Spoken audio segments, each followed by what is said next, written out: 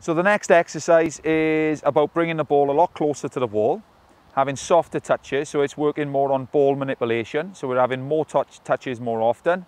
And the idea is to get into a nice rhythm, to use different parts of the foot. The more of a rhythm we can get into, uh, the more confidence and the more flow that we're going to get into. And it's going to help us improve our skills and it's going to help us get in touch with more of our ability. So you might have a few passes that don't go as well. That's okay. As long as you've got more passes that go well, then that practice session's been worthwhile. You, you are walking away a better player. Make sense? So I'm going to start off with inside of the foot, stop it, toe poke, stop it, outside of the foot, stop it. Then I'm going to go the same way, inside of the foot with my right foot, toe poke, I'm going to stop it each time, outside of the foot. Now it comes over to my left foot.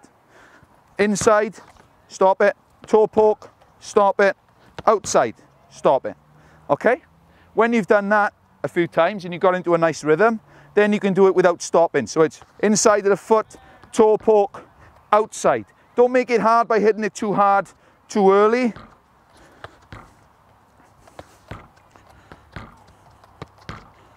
Got the idea? And as you get into a nice rhythm, because rhythm is really important when you're practicing and playing. Rhythm is so important in building your confidence, in feeling good, and then all sorts of abilities start to come out when you, when you get into a rhythm. Have a go at that.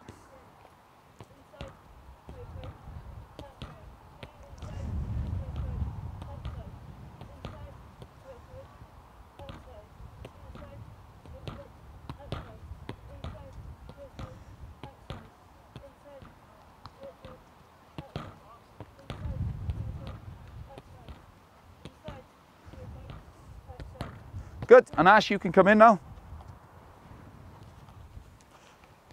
Off you go.